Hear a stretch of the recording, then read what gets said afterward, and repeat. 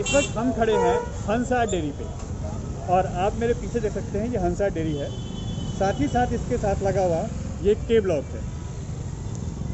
ये के ब्लॉक है। इसमें पहले भी चार मरीज़ कोरोना के मिल चुके हैं। और अब गली नंबर सात में एक केस और गली नंबर बारह में भी एक केस मिला है।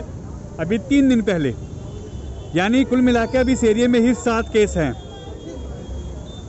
छः ये हैं, एक अभी सस्पेक्टेड है। तो यानी छः केस एक्टिव हैं और एक डाउटफुल है।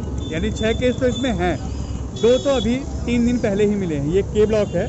गली नंबर सात, इसी लाइन में गली नंबर सात है और गली नंबर बारह है। इसके साथ साथ आपको एक और चीज़ बताते हैं। सामने। ये हंसा डेयरी है। इसके साथ में गली नंबर एक है एच ब्लॉक की। इसमें भी एक कोरोना पेशेंट मिला है कल शाम को।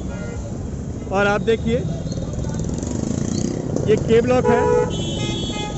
हंसा डेयरी के पास एक के ब्लॉक है और ये एच ब्लॉक है। गई नंबर एक। इसमें भी एक कोरोना पेशेंट कल मिले हैं। यानी इसी आसपास के एरिया में अब टोटल आठ केस हैं। जिसमें से सात केस तो एक्टिव हैं, जो करंट में है केस एक डाउटफुल है। अभी उसकी रिपोर्ट नहीं आई है। मगर सिम्टम्स उसके बताते हैं कि उनको सारे लक्षण वही हैं जो कोरोना पेशेंट को होते हैं। यानी हंसा डेयरी के आसपास ही लगातार मामले मिलने लगे हैं। के ब्लॉक तो खासकर के ब्लॉक में छः केस मिलना भी के ब्लॉक के लिए बहुत बड़े खतरे की घंटी है।